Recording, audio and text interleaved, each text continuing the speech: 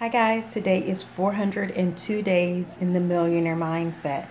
And we've been talking about pushing, persist until something happens while in action for the month of December and closing out 2015 at your best. And so today is no quotes, it's just me saying simply step out of your comfort zone and that's exactly what I'm doing today.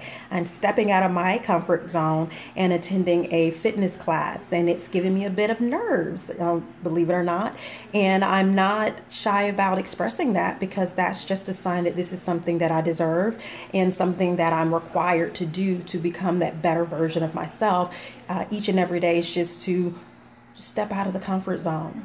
So, what are you going to step out of? Or step into to become that best version of yourself. You have 18 days left in 2015. So, have a spectacular Sunday, and I will talk with you guys tomorrow. Bye.